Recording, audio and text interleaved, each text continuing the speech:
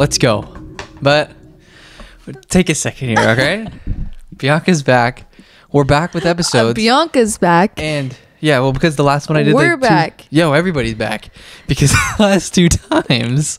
Have you Uh, made two without me? Hmm? No, I've just made one without you. Oh. So here we go. We got this. We got finals going on, but that doesn't mean Kellan wasn't watching UFC. And also, The amount of excuses we have for you guys. oh, every single week is excuses. But get ready for just direct all gear no game content constantly throughout the summer. You better believe that. And you also better okay. I didn't. I that's kind of that's extreme. no, it is. It is an extreme statement, but I pr- can Hold yourself promise you- accountable. I, I need to start holding myself accountable because I literally have been probably one of the worst and most unreliable sources of MMA news that you could possibly find. But also, the thing is, as Kellan is watching, uh, just just feel my pain here a little bit, all right? As Kellan is watching last week's card between Volkov and Rozenstruik. Oh how would I oh how would I have loved to just break down each and every one of these fights on here. Ready? Jeff Molina versus Zhalgas Zhumagulov. Oh, oh, painful to not be able to talk about Zhalgas, one of my favorite fighters. Benoit Saint Denis had one of my he had my favorite fighter from last year, even though it was probably took shaved seven years off his life against um Zaleski dos Santos. But I was so pumped to see Benoit Saint Denis get a freaking dub. And then my grandma was w- watching him with me, and she's she she's like French and stuff, so she was down with that. And then also Dan Argueta, I freaking interviewed this man, and he had his UFC debut against Damon Damon Jackson. Oh, So why didn't you make a cart or a video? because I don't know if you remember, but I probably slept for like a cumulative like four hours on like Thursday, Oh. Wednesday, and Thursday doing finals assignments. Yeah. So now, but we're set to go. And then also we had Zarrukh Adashev fight Ode Osbourne. Oh, Movsar Evloev. This is the one that really freaking killed me versus Dan Ige. I wish I could have talked about that one. And then the main event is obviously fantastic, but you know we can't really live in the past. We just have to. We're gonna. It, it, that's the, that's basically that's our like mo is we talk about things that happened two weeks ago. But before we even get into that, me and Bianca, we watched. Uh, before we get into any MMA, Oh, we have. we have a time um, limit here too. But we, what did we watch last night? We have to give our, our annual movie rating since we're not back. just what we watch, but last night. But we've been gone so long, we always give our input on shows and stuff too. So last night we watched Jackass hmm uh, Forever, Yes.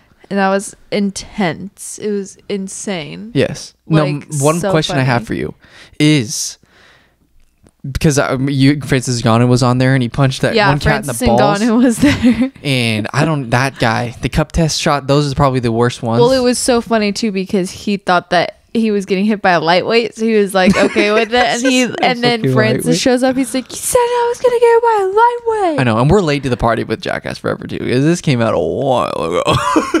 Okay. Yeah, I know, but, But, uh, it's okay. What's the one stunt that you do you would do that wouldn't be too outrageous, but what you would do? Like, what is something that you would set up that for you would do yourself? with the um probably the I could see you doing some of the ones that the girl did, like getting hit by the scorpion or licking the taser. I think you would do good. no I think you those could were do it. intense i would never ever scorpions are one of my like You wouldn't even let the scorpion biggest get to you. fears No. i would probably do the bear because it was cute Oh yeah, the bear was. Then the guy was like, "I gotta go in. I gotta the go guy in." was kind of nervous but no actually i'd probably just do the ones at the beginning where they were just they were human ramps where the guys are doing skateboards Oh yeah, yeah, yeah, and they were going over the top of them, and i you feel just like get that wasn't smushed. too bad yeah Yeah, that wasn't too bad. But I think the one that I would do that it would be terrible, The but I, beast? I would definitely do it because I feel like the ri- the the pain is high, but the amount of you getting injured isn't very high. I would do the the skateboard guillotine one where you put your shins out and then have the drop the skateboard down because you're not gonna like die from it. You're not gonna get your balls that, pinched. That wasn't You're not having to do. necessarily. That was like the most mild out of all of Yeah, them. but you can't make a sound. I think I could. If the, You- if I had no way to do one, wouldn't that's the able one I would do. There's no way you wouldn't make a sound. No, I know that, but I think that's the only one of the whole show that I could do. I She couldn't licked deal a with freaking bugs. I couldn't taser. deal with anything. She licked a taser, and the guy got bit by a snake on his face twice, and didn't make a sound. legend. and didn't make a sound. Poopies That is was an absolute intense. god. But what would you do though? I already said I would do the skateboard one. Oh yeah, That that's, the that's such a lame one. You just want to lay at the bottom of it. what else was there? I don't know. The fart Getting one. shot the out of the one was would be easy. fun. I know what one I don't want to do is the bowl. And what we do in one of All Gear No Games first ever podcasts was ranking um, the toughest sports ever. And bull riding. And bull of them, riding right? was like number one for me. Or was it the bull It riding was was, like high top five for me, I think. Yeah. But we've also been watching the new Obi Wan Kenobi, and I just finished Stranger Things. Kellan is not a Stranger Things um, fanatic like me, but he did watch one episode, which happened to be this the finale of part one, season Mm-hmm. four. So I've convinced him to watch part two of season four, July first. So he's hopping on a little bit on the train. Yeah, it's okay. I, I don't know if I would get into anyone else, but I just want to see the one girl fight the other guy. That, that the the demon zombie guy. looking dude. He's not a demon. He's terrifying. Uh, he's zero one. Technically, he's number one. Yeah, but my movie rating for Jackass Forever is I I, I, I, You're give, I give weirdly it around obsessed with eighties. Jackasses. Jackass movie. It's fun watching things that you would never do. I, would never do. I'm upset that you watched the other one without me. I wanted to see four it. point five on Netflix. But um, yeah, I would give that out of like entertainment level. It was definitely in the 80s. So Yeah. But we got a stack show for you today. We're gonna basically, I want to run through. I mean, we're not gonna run through all of them, but we got the Holm versus Vieira card, which had some sick fighters on it that I kind of want to. So this is the one that already Fast happened? run by two weeks ago, and then Volkov, Volkov versus Rozenstruik, and then we obviously have Prochazka versus Teixeira. Let me just bolt through some of this suckers really fast, okay? Jailton Almeida comes back. Okay, so I want to talk about Jailton Almeida really fast because he was on that Holm versus Vieira card, and I, I already I made that one thing where I talked about my my fi- my favorite. It was my I forget which one it was. I made an episode on the most or the best prospects that we've had so far, and they were featured on this card. But There was Chidi Njokuani, and then there was Jailton Almeida on their card. So, and then there was no, I think that was it. That was it. It was just Jailton Almeida versus um, Parker Porter, and then um, Chidi Njokuani versus Dusko Todorovic. But I just want to go back here for a second, okay? Because for this episode, I also made my um, top unranked fighters that are e- like in each division, okay? But let me just, since we're on the topic of Jailton Almeida, I just want to say Jailton Almeida for my heavyweight and light heavyweight portion of this, um, my rankings, he is by far the scariest unranked dude at both light heavyweight and heavyweight. The way he came in against Danilo, Danilo Marques and just ran through him, the way he came in against Parker Porter, who was on like a three fight win streak, and then just took him down and then dismantled him, dude. He got a rear, he sunk in a rear naked choke. This man, I'm gonna say it right now, we are in a, living in a very interesting time because I think Jailton Almeida, he just he just got a new fight. Um, he just signed a new one is against uh Shamil Abdurakhimov and Abdurakhimov he's ranked he's like number 12 in the current light light I mean heavyweight rankings and he just lost to like Chris Daukaus or something but what I'm saying is Jailton Almeida is so special and we're living in such a sick time because Jailton Almeida is the Hamzat Chimaev of light heavyweight and heavyweight division because just like Hamzat he can run through and be the best at both divisions but Jalton I don't know what it is dude but this man I don't see anybody stopping him.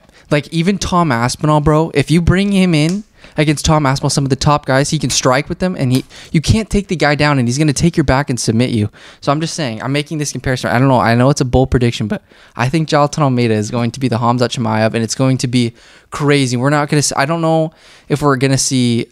I don't know. Like we've never really seen a guy fluctuate from light heavyweight and heavyweight, and I think that he has a home at heavyweight for sure. Because I don't think some of the guys that stand and bang at heavyweight have the grappling abilities to like hang with him on the ground. Because as soon as things go awry on the feet, he's just gonna take you down and destroy you, and he's gonna work his way up in the top five. And especially if he gets this dub over Shamil Abdurakhimov. I mean, there's no reason why he shouldn't be fast tracked along with like Tai Tuivasa. I mean, Tai Tuivasa was in the UFC for a while. This was like Jailton's second fight in the UFC. But I'm just saying, dude, this guy is the Hamzat Chimaev of lightweight, light heavyweight, and heavyweight, and it's his rise to the top is going to be insane, especially given the fact that now we have some exciting things happening in the light heavyweight division that we'll get to. But that's what I want to talk about. Jailton Almeida for my heavyweight and light heavyweight. He's the next. He's that Hamza Chimaev level guy there, but also he is the scariest unranked dude for both the divisions. Because I was going through, I was like, who's the scariest for lightweight, light heavyweight? Who's the scariest for heavyweight?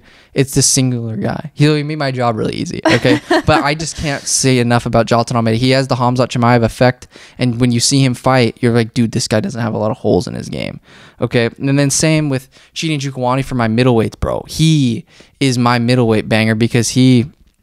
Uh, he's my middleweight uh, scariest unranked. His middleweight Dusko was doing good. Like Dusko was doing good in their fight, and then he catches him with an elbow, and it's all over. And he has the attributes to like, I, dude. He, I think he can grapple, and he obviously can strike with the best of them. And so, you at middleweight, everybody compares you to like the Jared Cannoniers and the like um, Israel Adesanya's and Sean Strickland's and stuff. And I think when you look at middleweights, you have to be able to like compete with those guys and have the attributes because a lot of the middleweights, I feel like they're big, strong guys, but they can't necessarily like, I don't know. They don't. You just see you see them fighting. They're good, but you just are like, I don't know if this guy can go to the next level. But watching Chidi Njokuani, it's like, dude, this guy, he's one shot away from beating anybody in the division, basically. And so that's mm-hmm. what I think separates him from the pack, and that's why I picked him as my middleweight. Like, absolute savage, scariest unranked dude, and should be ranked within the very near future. And then on that, I guess, like, I'll just finish the list because.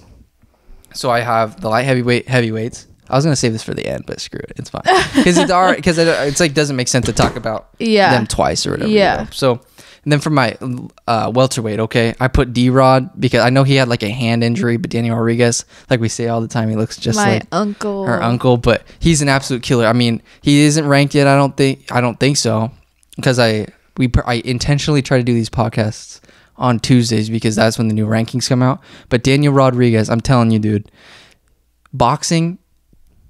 He can he uh, in his last couple of fights like Preston Parsons and Kevin Lee. I mean, he just pops you with his jab, dude, and everything is so firm. He doesn't even throw like hundred percent. Everything's just so straight and crisp, and he just splits your guard and kills you. But then when people try to take you down, when guys try to take him down, he just stuffs. He has such strong hips, so and that's like we've said crucial against when you have to fight guys like Yeah. Belal Muhammad or Hamza Chimaev. Having good takedown defense is essential, especially when you're a good striker, because you're striking like we know, dude. It's useless when you're off your back. Like we saw against Vicente Luque, he couldn't stop a good time takedown from Belal Muhammad. But I mean, even though D Rod he is like in his mid 30s or whatever, I still think he's got a lot of juice in the tank. Gonna be a late bloomer, you know, but he's just so tough. So I picked him for my most dangerous 170 unranked guy. And then for most dangerous 155er, it has to be Claudio Puelles because the way he's basically ran through his last opponents in between um, Gruetzemacher and Clay Guida, who are fantastic wrestlers, the way he just slips and just scrambles and the way he just transitions into submission attempt after submission attempt is insane. And also his, um, I don't know, like his fire IQ, like when he's striking or whatever, he just does a really good job of mixing it up and setting up his takedowns. And he just is a really well rounded fighter. So I'm picking Claudio, Claudio Puelles. And then similar to Claudio at 140, um, because Claudio's a 155er, my most dangerous 145er is by far Charles Jourdain because the way he beat Lando Vannata, who is, I mean, gave guys like Tony Ferguson problems at lightweight. I mean, Lando Vannata is an absolute killer, and for Charles Jourdain to pull off like a guillotine, I think he did, and then he absolutely blossomed into an absolute manimal against Andre Ewell, dude.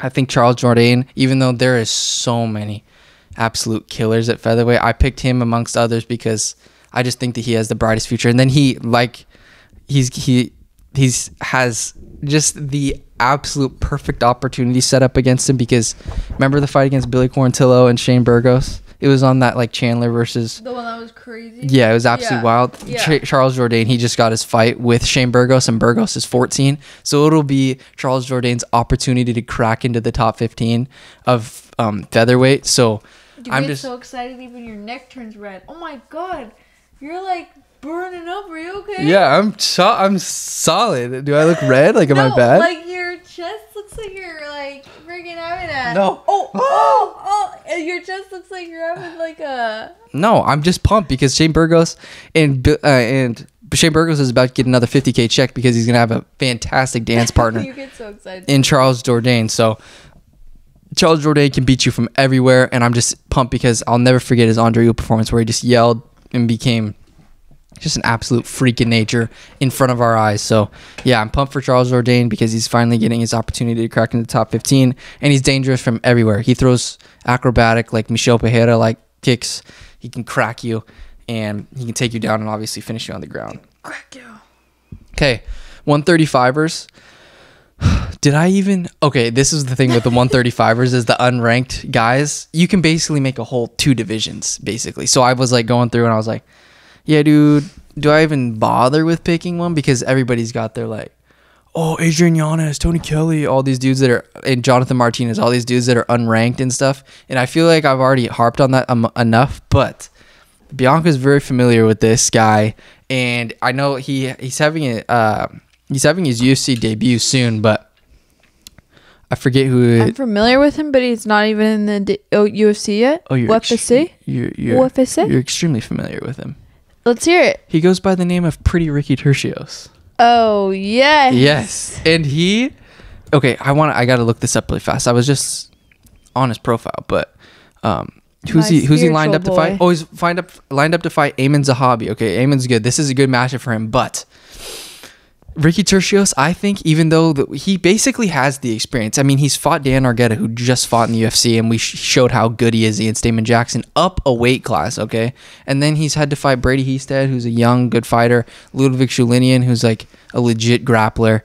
He got all that experience within the um, Ultimate Fighter tournament. But Pretty Ricky, he's the same as like Javid Basharat. All those guys elevates his opponent's game, baby. And it doesn't matter who's fighting him. He finds a way to like implement his style and uh-huh. like kind of play into the game of the other guy and just like it just makes for a really good matchup and he also talks crap he's like max holloway esque and he gets i don't know it just there's an aura about him where no matter what happens or like who's he's who he's fighting it's always exciting and his striking game is insane his way he gets out of tough situations is incredible and he's not afraid to put himself in the fire in order to have success like if something's not w- working for him so cool. yeah like what's your favorite thing about him like when you're watching him fight it's just like I don't even know. He's just like he doesn't quit. no And he- exactly yeah, he's just a good fighter. Like it's entertaining to watch. No, I know. He's literally just like no matter if he's if his striking's not working, he finds a way to get the fight to the ground and he finds a way to get ahead on the scorecards no matter the situation. So like that's why I think that he's the most dangerous is because even though he's still young and has a long ways to go in his career, like I just think that no matter he, who he goes against, he's just gonna give him hell no matter mm-hmm. what. Totally. And then also it's a 50k check every single time he goes out there. So like everybody's gonna be like they're gonna be lining up to fight him, but then at the same time when they're in the hospital after, they're like, oh, I don't really want to fight him. house- Was it really worth it? But yeah, he's an absolute funny. killer. So Yeah, that's why no, I he's picked him as sick. 135. Yeah, Even though he hasn't even fought in the UFC yet, but he technically that's a good pick for sure. Yeah. And I feel like I haven't talked about him enough. No, how yeah, much I, I, like didn't him. even think. I'm surprised this is his debut. I would have thought it would have been sooner. Yeah, and he's so experienced too for like, and he just for not having as many professional fights. I feel like he just he fights like a legit top 15er in the bantamweight division. Mm-hmm. But okay, then for my flyweights, let's get to this right freaking now. And this is another rant. And do we need more of the rants? No, we don't need any more of the judging rants. But we'll go to the. We'll just transition over to the Volkov versus Rozenstruik card, which was fantastic last week. I was gonna think uh, since it was an early morning card, I was like, let's just let's just do a episode after. And then I was like, nah, it's all right. Well, I kind of convinced you not to. See, Well, you're a just- bad influence on me. Well, no, it was just late, and I I said you could do one by was like yourself. two or three. when it ended, Yeah. it was like four. I thought. Oh, it was. No, yeah, it ended at like two or three. It ended But like then four. we like did something after, and then you wanted to do one later, after we did something. yeah. And then I was like, it's kind of late. Like, No. why don't we? d- I said, let's do one tomorrow. And then we ended up not doing one. All right, ready to go. Would you rather get punched in the stomach? No, would you rather get kicked in the shin by Conor McGregor or Okay. punched in the face by Rose Namajunas? um, I would rather get punched in the face. By Rose? Yeah. Than kicked in the shin. Man, you see, this is an Uh, interesting answer. Wait, I here. don't know. because Because You it's wanna wear a Conor shiner? McGregor. yeah, Shins hurt so bad. Yeah. but also my face is my only good attribute. That isn't true. what are you talking I don't know. I could. I You would could just take, a, little bit of a I nap I or not walk a- for a week. I don't think I would get knocked out. I think I could fight her. Rose. She's calling you out. I'm just kidding, but I'm pretty tough, don't you think? Yeah. You know I'm tough. I know for a fact Rose can put my lights out. 100. You think? she can put ninety I thought that she did like horrible her last fight. Like she barely even touched the girl all. You see, this that whole narrative doesn't fucking matter because we're mortals and they're demigods. Mortals. She's immortal. Rose is a freaking. No matter what anybody says, no, matter, how weird everything I don't is, think she's as good as people say. casual, absolute straight casual comment there. I She's just- fantastic. Every single fight she's been in prior to that last one. That was- last one was horrible. no, and you're not wrong. Did she keep her belt? No, she lost. Good. But no, let's get into this judging rant, okay? No, I'm just kidding. I would get For my out. 125er, that is the scariest, and I don't care what it is. I remember watching him my, his first ever time going up against Raulian Paiva. I thought he won. He got screwed. But what happened against Jeff Molina? Jeff Molina, he's a cool dude. Like the way he was ripping on. uh People, I think people were giving him crap for wearing like the rainbow things on his short, the letters on his shorts for LGBTQ. And was he the one that like he was the he one was? that was talking about yeah, people like just need to be decent human of beings. Yeah, bro. I just can't believe people would crap like, and also the Tampa Bay Rays players that don't want Well, to. it's the UFC. What do you expect? Their fans are all. Yeah, but also like the Tampa Bay Rays players that didn't want to wear um, LGBTQ like patches on just for God way. things, like because we're Jesus. Like we, we believe in Jesus and we don't believe that's a lifestyle we want to. It's like, bro, you need to. It doesn't matter, bro. If you're like accepting and following, if you're like a God lover, Jesus, Supposedly like Jesus you should like love everyone. everybody, bro. Yeah. Like, and then just wear it and then be done with it. Like, it's not. Like, it's stupid. But on to Jeff Molina. Jeff Molina is a savage, but Zhalgas, I'm sorry, dude. Zhalgas Zhumagulov, when a, when if somebody is visually watching this fight and Jeff Molina is walking off to his coaches after hearing a 30-27, Zhalgas Zhumagulov clearly won rounds two and three. So one would think Zhalgas gets the dub, but no. Mans gets absolutely thrashed. I don't care what anybody says. Come at me right now, anywhere. Magulov won that fight. I don't care how close it was. Zhalgas cracked him on multiple occasions, was able to change levels, and even though Jeff Molina is good, I think that Zhalgas was pushing the pace the entire time. Except in the in the third round, okay, Zhalgas was definitely like on his back foot, like circling around the octagon, but he was still landing good shots, and he I just think he won the fight. Okay, Every, and nothing that Jeff Molina did made me think that it should like sway in the opposite direction. Mm-hmm. Like I thought Zhalgas was in control the entire time, and but that being said, like it just frustrates me to see like Jeff Molina he wins right, and then gets called out by a hot name like Muhammad Mokaev, and then I'm like, dude, that could be Zhalgas Magulov. Like I don't know any of their, I, don't know. I know I looked it up, and like Zhalgas is following like Muhammad Mokaev and stuff. So I don't know if there's like any I don't know if they're friends or anything. Like I don't know if that happened, but it's just like, dude, that should be Jacques Magulov. And also like the way Jacques Magulov, he is so unbelievably well rounded in like everything he does, and he has a decent got a great gas tank, super explosive, not afraid to engage with anybody as we saw. But in the UFC, like we see he lost to Raulian Paiva, he lost to Amir Albazi, beat Jerome Rivera. So he's one in five in the UFC, but his record does not accurately depict how good he is. And that's what pisses me off, is because this man, even though he is one in five in the UFC, he easily could have three wins. He could be three and two. He should have beat Raulian Paiva. He should have beat Jeff Molina. He list, lost to Amir Albazi and Manel Kape fair and square, obviously. Manel Kape put his lights out. But like it just goes to show as, uh, as so many people talk about like Brendan Schaub and like uh Ariel Helwani, it's like this is ruining a dude's career, and he could get win money even though he he's I think Jacques Jim he's doing fine. He has like three hundred plus thousand followers on Instagram. So like even though he is one of five in the OC, he definitely has a following and he makes probably a crap ton of money. But it's just like I don't want to see him out of the UFC because in my opinion he is the danger most dangerous dude anybody can go against just because he can give anybody a run for their money. Like you try to take him down, that's gonna be hell. And then like if you want to stand in the middle of the octagon and throw with him, like if he connects, your lights are going out. So it's like a matter of who's gonna connect first. So I mean, Yeah. even though I just am like the biggest advocate for like I don't want him leaving. I don't know what the talks are in the UFC. Like I just don't want him out of the UFC because I think he's a great addition to the flyweight division and like any new up and comer. Like if you have to face Zhalgas, I feel like that is a good indicator of like where you're at. Like if you can beat him, that's sick. But it's like I just don't want him gone because I love watching him fight and I don't know. There's just something about that him that it just rubs me the wrong way that a judge, those people can just not even they, can just take a nap for 15 minutes and then pick a fi- pick a winner. Like do 30-27 when Jogs clearly won rounds two and three. I just like, don't bro, what are you doing? understand how. So like that's my little rants on that. It's like you have a big name like Muhammad Mokaev calling out Jeff Molina, but I don't think Jeff Molina won. It's like that could be Zhalgas Magulov, but instead Zhalgas is one of five in the UFC, or yeah, one of five in the UFC or whatever. And it's like, dude, or one of four in the UFC. It's like, oh my god, but he's still my un- uh, unranked 125er, bro. Okay, and then I'll just Are we also discussing this Saturday's card? yeah, it, really fast. Okay, and then my then then my girls bantamweight. I'll just run through these really fast. My girls bantamweight, Joni, Josiane Nunes, who beat Bea Malecki in her UFC debut, and then she just got another dub. Watch out for her at 135. She's a little fire plug. She can put your lights out. She's little for the 135 pound division, but like, What's her name? Josiane Nunes, and she's a killer, dude. Oh, and then is it Aaron, Amanda's sister? Hmm? dude, there's probably some freaking Relation? probably at some is she.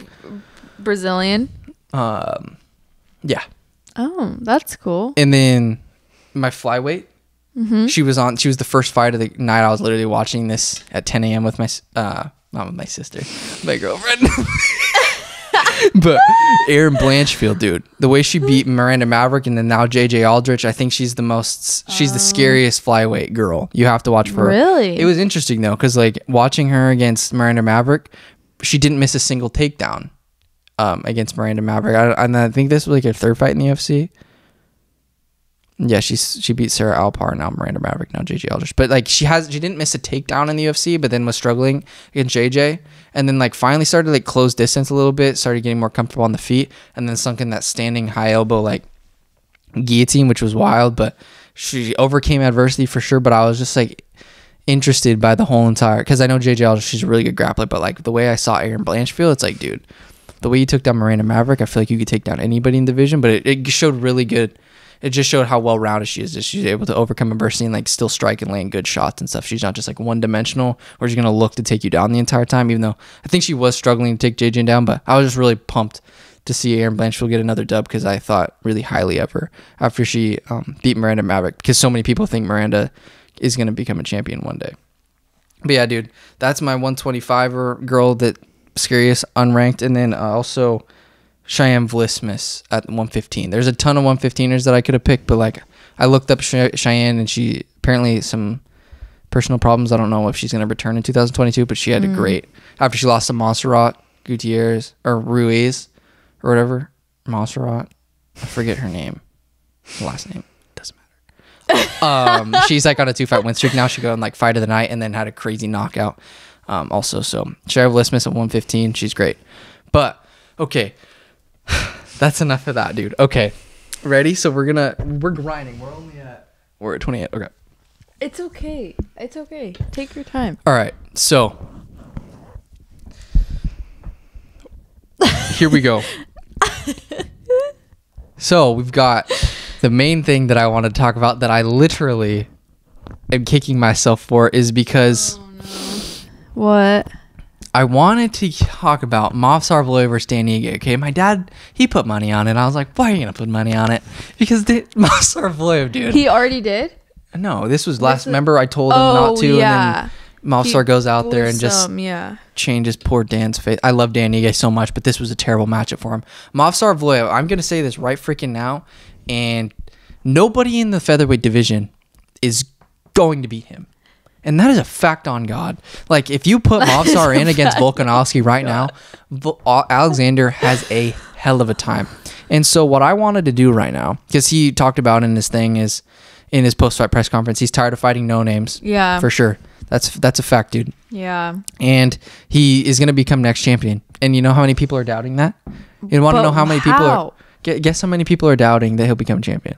A lot? Zero. Okay. Oh, okay. So it's just she's on her phone. It's Joe. No, But- I thought that you meant like you're on his side and other oh, people Oh, no. aren't. Well, I mean, probably other people aren't like they probably because he's, a getting all these known names. So why? but he's Hamzat Chimaev S. Exactly. So here we go with this. You look a little flush. You good? Yeah, dude, I'm fine. I I like watered my hair. It doesn't even matter. But Movsar, My hair now. well, yeah, because I look I had bedhead. So He sticks his head in the shower and he just turns it on, and then he's like, is that an "Okay." uncommon thing to do? And then do? he just Okay, tries it. Sorry, Brie. who's ready to lay out the Movsar Evloev title run picture? Okay, because I don't believe he's one fight away from the title. I think he's going to take a little bit, just given the fact that there's some absolute sav boys like Calvin Kattar versus Josh Emmett and Yair and Brian Ortega fighting, and Chan Sung Jung's up there. So here is my prediction for the future of Movsar Evloev. Ready? All right. Let's hear it. Number one, who's ranked above Movsar Evloev? Who has probably some of the best ground game? What is Movsar's number one thing to do when things aren't going well for him on the feet? And also just to change levels and just absolutely make the, his opponents want to piss piss their pants because they don't know what's coming after him. But like, I think that Bryce Mitchell, who is ranked number nine, versus Movsar Evloev, who's current ranked number ten. Bryce Mitchell, I don't know if there's anything lined up. I don't know if he has any injuries right now. I'm just speculating. Like, let's make this sheet right now because the way Bryce Mitchell beat Edson Barboza, who is UFC Hall of Famer, Bryce Mitchell versus Movsar Evloev is going to be one of the craziest fights of all time because if you're gonna if if Movsar takes Bryce Mitchell down, Bryce is gonna sink in like a twister choke or something, and then like is Movsar's gonna get back back to to his feet, and also Bryce Mitchell's boxing is insane because I'm pretty sure he sat down Edson Barboza, dude. So, like, what's gonna happen here? It's gonna be crazy because Movsar is gonna try to take. uh, No, actually, scratch everything I just said right there.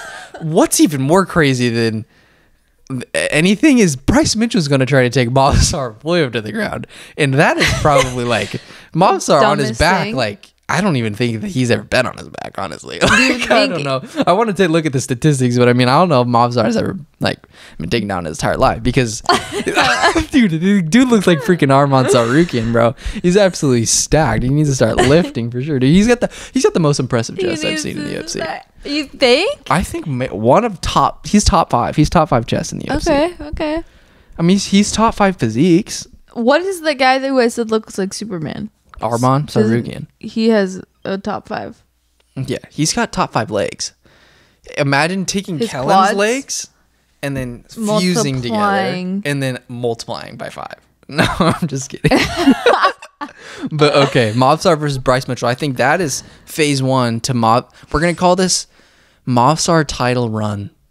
Will it Project. actually go this way? 'Cause you Mobstar read title from run. This is the that. project we've got. Here you go, UFC. You're welcome. okay. Mobstar versus Bryce. That's what we've got. Next. Mobstar, he wants Arnold Allen. He wants to catch that little Englishman. He wants that guy. He wants that dude because apparently he's been calling him out. Arnold doesn't want anything to do with him. I mean, that's not, that's actually so far from the truth. Arnold is an absolute freaking killer, dude. Like everywhere. His uppercut is nasty. Try it in UFC 4, bro. Arnold, um, he just went in there and freaking cracked Dan Hooker, dude. But yeah, he's beat Sodiq Yusuff, Nik Lentz, and Ar- uh, Dan Hooker. So like this Arnold Allen fight would be perfect. And also like if Movsar beat Bryce Mitchell and then they did like Movsar versus Arnold Allen, Arnold Allen, he's done enough to the point where if he beats Movsar, he's up for that title shot. But then like if Movsar wins, it's tough. Especially given the fact that like if Max beats Volk, who knows what the hell's gonna happen with that? Because it's like mm-hmm. is Volk gonna want another fight? Is just are we just gonna see Max Volk five, six, seven, eight, nine, ten? You know, what are we gonna see here? What are we gonna see here? if Yair beats Brian Ortega, Yeah, Yair's got to be up there for the title too. Yeah, you. Yair. But okay, so Movsar versus Arnold Allen, that would be a crazy fight. I don't know what the hell is gonna happen in that, but if Movsar somehow gets that dub, just given the fact that he's young and stuff, like I think he's gonna fight one more big boy. I think he's gonna. I think he's gonna have to fight another big boy, whether that be Kattar, whether that be Emmett if he loses to Kattar, like whether that be the loser of Brian or like this is a long ways away. We're talking like mid next year that we'd be, or like even like two years from now that we'd probably be talking this. Just given the fact that who knows how frequently he'll be fighting, but Yeah. I think that he's got to win three more. It's that three is the golden number here because there's just so much cluster at the top of the division, so many guys, and it's just like blah blah blah. And especially if like if Volk wants to go up a weight class, you know, and fight, that's just gonna put things out further. But it also could be good though if Volk wants to go like if he beats if Volk beats Max, which I- don't know what'll happen, but like if that does happen, that could set up an interim title shot, which could drop it to two. You know, that could drop it an interim title shot for Mobstar to two. So that's my whole entire kind of plan here. It's either two or three fights, but it's gonna have to be against some heavy hitters. He's not gonna like beat a guy that he's not gonna like beat a Bryce Mitchell and then get a title shot. He's not gonna like just simply beat Arnold Allen. He's gonna have to beat somebody that's like fought for the title or mm-hmm. fought a guy that's fought like a champion Yeah. in order to get there. Hmm. So that's my title picture. I think that Mobstar he is going to run through everybody, but it's a matter of time. And we have seen that he does he can get clipped like against Hakeem Dawodu, but that is my prediction. I think that he's just fantastic, phenomenal, unworldly. Like he is so good everywhere, no holes in the game whatsoever, dude. But that being said, like um one thing that I did want to talk about, and we'll get into the Prochazka card here really quickly. I just it just really came to my mind is I was playing UFC 4 and I just wanted to get at anybody who's watching their thoughts because like I really do who who do you think if I was to ask you right now who do you think could beat Charles Oliveira? Like a fighter right now. Keep that on the ground though I don't want to bang it you can take it out. You can take the mic out. It doesn't make a noise. Um, I don't know because I honestly don't think Conor would beat him, no. And so I don't know who else could. Yeah Because well, there's a lot of guys above Conor in the rankings, but Mhm. I feel like that's didn't he say he wanted to fight Conor next? Yeah. he called him out, but I don't know who I would see. I don't want to see him fight Dustin. I don't They really. beat him I don't want to see who else is up high in the rankings. Who's top five in his class? he just beat everybody So, oh yeah, because he's number one. Yeah. Well, he's beat all the top guys. Well, because he's the only guy that he hasn't. So fought, he would have to change his his weight class. He hasn't fought. He the only guy that's in the top five that he hasn't beat is um, Islam, I think. Then I guess that Yeah, because he beat Poirier, he beat um, Gaethje. Gaethje, and he beat Chandler.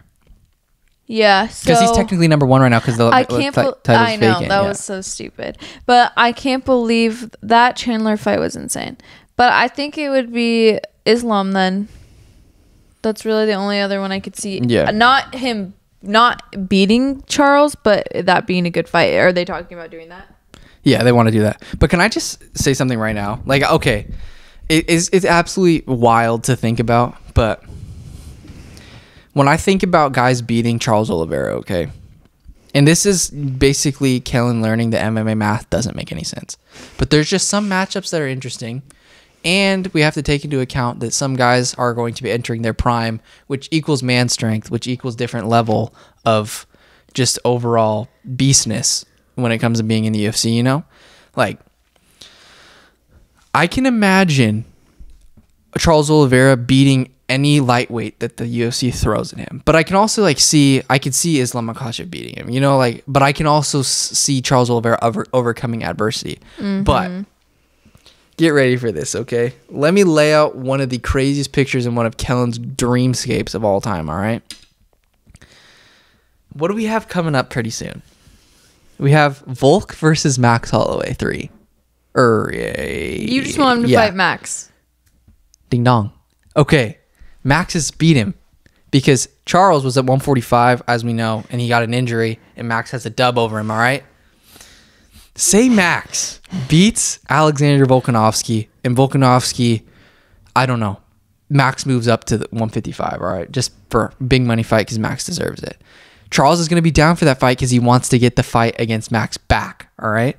I'm saying right now, I'm not saying every a lot of things on UFC 4 like are wrong, but I'm just saying that I think Max Holloway. You, I don't you see. beat Oliveira on UFC four using Max. yeah, and I'm not just. I I'm saying right now, dude. Max Holloway. Mans showed off so much of his abilities against Yair Rodriguez. Scrambles, takedown defense against Volk, takedown defense against eh, like Yair, uh, again, yeah, against Volk. Um, Gibbs scrambles, like I said against Yair. I'm like stumbling over my words, but I really think that if the fight goes to the ground, Max Holloway is going to show why he's the goat, why he's the freaking goat, dude. And also on the feet, it's hard to put Max Holloway away. Like his chin is legendary granite, baby. It's absolute Hawaiian coconut like palm tree steel. That's what I'm saying right now, dude. You can't put this man away. If Dustin Poirier can't put you away, I'm telling you right now, Max Holloway staying awake in that fight. I don't see him getting knocked to the ground. I'm not saying that Max can beat guys like Justin Gaethje, Islam Makhachev, Michael Chandler. I'm not saying any of this. I'm just saying when it comes He can just beat the one- guy who's beat all of them. I'm just saying when it comes to matchups, and when we lock two absolute savages in there at 155, especially Max entering his prime at 30 years old, who knows when he's one, 31, Big man 32, strength, as Kellan 31, called 32, when he gets big man strength, big boy, when he gets that, out, he gets that, um, pork in him. No, no, what, what, dude, what's it called, bro? Kalua pork? No, bro, I don't even know. I don't even know what I was gonna say. But Pa, when, pow? Huh? Poo? poi, Poi. He's that boy strength, bro. His big boy boy man strength. I'm just saying, when I lock Charles in with Max, I don't see a world in which Max loses. I don't know if I'm crazy for That's that. uh called being a biased fan, but it's okay because you have faith, and that's what matters. I just think that Max, he might get that. He might once he hits that prime, he could put on the necessary muscle. I love you, Max. Where because when he came in against Dustin Poirier and fought for the interim title, he didn't look like he put the weight in in the right places. But man's is thick now. His legs are Means thick. it's thick. He's So I, that's just food for thought. Okay, that's just what I think right now, and be, it, I don't know. Just it is what it is, as Max would it, say. okay? That's Just sit on I it. think Max is the only guy in the UFC right now that can beat Charles Oliveira. Okay. Okay. So now we're It's on kind of psycho, but it's fine. All right, now we're on to the man I interviewed, 275. Jiri Prochazka. He's literally Glover the Teixeira. main card, He's the fighting for the light heavyweight title. and you freaking interviewed him. Like, do you not realize how sick that is? I interviewed this guy. Go check that out. It was like two years ago. Go link it in the description below. Go check it out. Kellan literally interviewed and now this guy, and now he is the main event. He's going on the to be card. fighting for like, the is light that not the coolest heavyweight thing? championship of the world. It's pretty sweet. You need to give yourself more credit because that is freaking sick. No, And I got to give him credit because he's really nice. no, no, yeah, that too. But like he, it was hard to interview someone who doesn't speak English as their native language, and you did a great job with that that diversity. Like, Mm-hmm. Yeah. you know, No, but he, he's just an overall cool dude. yeah, he was really nice. That's Yeah. super cool. But overall, this card is like hella stacked. Was that the one that Jonah sat on? No, no, that was Gustavo Lopez. Oh, okay. All the guys I've interviewed have been really nice. So nice. That's why they've taken them because they're nice guys. yeah. Dan Argueta is really nice. Um, Gustavo's hella nice. That guy Trace Engelkis is really nice. Yes. It's only a matter of time before he makes his He's debut. in the UFC. And then, and then you interviewed John Morgan, the, John Morgan. literally like the Jiri. top interviewer during Mhm. press conferences. Yeah. and he was so nice. I interviewed the Lego dude who's cool, Jared Jacobs. Yep, we need to get an interview back on. Yeah, that's what I want to do during the summertime is get Try more because I'll have more time to do Yeah, that. More time to prepare because I like to be prepared when I, I don't want to half-ass it. When I and go we're trying to get Kellan an internship at the UFC next summer. So anything we can do to prepare, let us know. back on God. Update. All right. This card is really stacked though. We got Danaa Batgerel on here versus Kyung Ho Kang. I'm looking forward to Dana. He's coming back quick after his knockout loss to uh, Chris Gutierrez, but we'll we'll see it. We'll see how it rolls. I think that he's got he's obviously got the one punch knockout power to take anybody out. But then Andre Fialho, I mean, versus Jake Matthews, that's going to be probably fight of the night just because, like I've said, Andre Fialho. he's one of the craziest. He's in front of. I know, dude. They, they all struggle like Daniel Cormier and all of them. I was like, is it just Fialho? And then I think where he's from, I think you get the. They always, It's like, the Portugal. It's the funny. Fialho.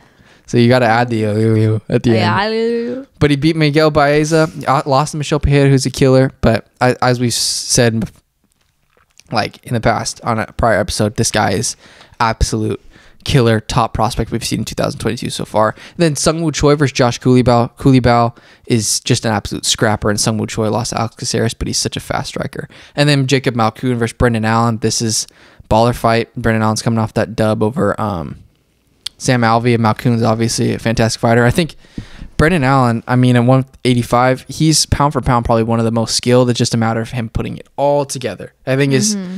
his like like his ceiling is super duper high. It's just a matter of him just I don't know, dude. He just needs to be smarter on the feet, and not get popped as much as it. I don't know. Obviously, I'm not a mixed martial artist. I don't know how to freaking. I don't know what to tell him. I'm just saying that I when he fights, what if you he become a coach? That would be sick if you went there and you ended up coaching a guy. What would I tell him? No, I was gonna say What would I tell him? I'd be like, all right, dude. that would be a true story. The man who's never fought in his life. no one would be signing up. No one would be lining up. I want you to game train me.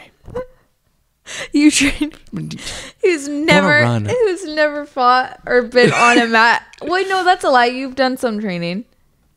Yeah, I did jujitsu for like two weeks. I wanted to kill myself because it hurts so bad. Because I, I got two surgeries on my elbow or whatever, and then I get guys putting me in arm bars, like huge guys that are just cranking. I'm just like,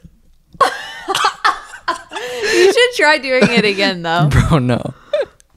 I need to start stretching if I wanted to do that. The way they contort their bodies and stuff, It's It's- crazy. underrated for sure. And then Ramzan Amir fighting Jack Della Ma- Maddalena. That's gonna be a good one. Right here, Bontorin versus Manel Kape. Manel Cop, big fight for you. Um, Zhang Weili versus Viana and Jacek. Fantastic. If you haven't seen the new Mype Sports, Viana and Jacek is cringe. My sports. That video is fantastic. That's gonna be great. That's probably gonna be fight of the night on the main card. Valentina versus Taila Santos. Valentina, I expect her to just show her dominance. But annihilate. the last thing I want to talk about, dude. At the main event, this is the last thing we'll talk about. Jiri Prochazka, okay? Just kidding. Jiri Prochazka. It cannot go. Like he is so unbelievably important to the light heavyweight division. I'm going to tell you why right now, okay? So like I'm not taking anything against from Glover Teixeira or Jan Blachowicz or any of those guys. But I can say pretty surely that the light heavyweight division was a little bit dry there for a minute. Like after Jon Jones took out everybody, Jon Jones steps away, it just becomes an open free for all basically. And there's really it just goes to show how great those guys are. Like it just goes to show how great Jon Jones is because Jon Jones made these guys look like they just wa- they just weren't on his level, obviously. But then like it's great to see Jan Blachowicz and Glover Teixeira get their shine or whatever. But when you look at Glover Teixeira and Jan Blachowicz, when you're comparing them to a guy like, even though it's it's really not fair to say, but like when you're comparing him to Jon Jones, it's like Jon Jones is the standard of light heavyweight champion that you expect. So like when a guy like Glover Teixeira or Jan Blachowicz are the champion, you're like, God, you know that It could be they're not the best Yeah, in the world. like be better. I don't want them to. I don't, I, I don't want to sound mean or anything, but it's like There's room you- for improvement. yeah, no, but it's like, yeah, no, exactly. It's like, Like, you know that they're the- you've seen the best, and so like, but when you get a guy like Jiri Prochazka in there who throws spinning crap, absolute haymakers, and the great thing about him, very similar to Charles Oliveira, in the fact that when he gets rocked or stunned, it it doesn't matter. You don't think that he's out of a fight at any time because he'll recover, he'll get a second win, and he'll come and just take your head off with a spinning back elbow or mm-hmm. something. And he just you what are you gonna do? Like like I just don't see a lot of routes for Glover Teixeira to beat him, and here Prochazka is just so exciting. There's no way. And I think that it's just perfect that we have a guy like this because he is so well rounded at everything he does. And he when you look at here Prochazka, he's a freaking Viking man. And it's like when you when when Jon Jones comes back, you have faith that a guy like Jiri Prochazka can defend his Could, title. could actually, yeah. He has the attributes. Yeah. To like he's just a believable young athletic light heavyweight champion and Totally. like yeah, that's why I think that he's just essential and just couldn't have came at a better time. And I think it's great Glover and Jan Blachowicz got their shine and stuff, but I really think this is the passing of the torch, bro. This is here That's a good way to put it. Yeah. this is here at Prochazka's time, and it's Magomed Ankalaev's time. It's this new influx of guys, even like Anthony Lionheart Smith. Like even though Magomed and Anthony are fighting, it's just like I think this is a great time. And we got guys like Yamhel Hill, Jamahal Hill, Jimmy Crute, all these young dudes that are that are coming up, bro. And I'm just, it's a You're great time for light heavyweight division. It's a new, fresh start, and I think that if you're a Prochazka, I really believe he's going to get that dub. I think that it just is a representation of this new time. And then Jon Jones, when he comes back, the world is his oyster because he can go and, fight, a new, new guy, new blood, um, like Magomed or freaking Jiri Prochazka, or he can go up and fight guys like freaking Tom Aspinall, Yeah. to Tuivasa, all these sick Francis Ngannou, Ciryl Gane. It's just it's gonna be so sick. So that's why I think that like I uh, my prediction right now. You think Yuri's gonna win? I think Yuri's definitely gonna win. But yeah, that's why I just wanted to get that kind of off my chest. Is I think that Yuri is super essential right now to the UFC light heavyweight division. But yeah, I'm so pumped for this card, and It's gonna be good. it's gonna be a good one, baby. Gonna Let's be go. good. Thank you guys so much for listening, and yeah, we'll be back on a more consistent See you basis. hopefully next week, but Thank you. don't count on it.